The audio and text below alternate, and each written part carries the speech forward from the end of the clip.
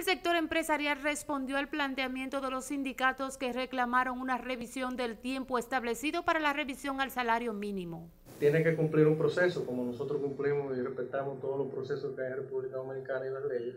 Entonces creemos que este proceso tiene que, que votarse y tiene su fecha. La respuesta se produjo durante una visita realizada al presidente del Tribunal Constitucional Milton Rey Guevara, donde dieron su respaldo a la gestión del magistrado. De nuestras organizaciones de las personas que nosotros representamos, las industrias y las empresas que nosotros representamos, para darle un respaldo al tribunal y indicarle que estamos satisfechos con el trabajo que han venido realizando.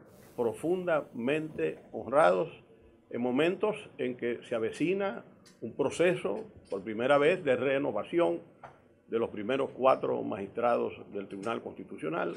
Cuatro jueces del actual tribunal serán sustituidos por el Consejo Nacional de la Magistratura, para los cuales los empresarios piden tomar en cuenta sean llevados a ese organismo personas de probada reputación. Hemos dado opiniones en cuanto al reglamento que se va a utilizar y esas opiniones, bueno, ojalá que sean escuchadas. Lo que hemos hecho en esta etapa es recomendar como actores eh, de la sociedad dominicana preocupados por estos procesos de la institucionalidad, que lo que se desarrolle cumpla con, eh, con los procesos de transparencia, con criterios claramente establecidos, que se tome en consideración la evaluación que ha hecho el Consejo de la Carrera Judicial para los jueces que esté disponible, que el Consejo de la Magistratura se base sus decisiones en algunas de, de esta documentación y que eh, al final del día la decisión que se tome pues sea eh, a los jueces más calificados. Rey Guevara agradeció el apoyo brindado por los empresarios al tiempo que reiteró la falta de recursos con el que opera el alto tribunal.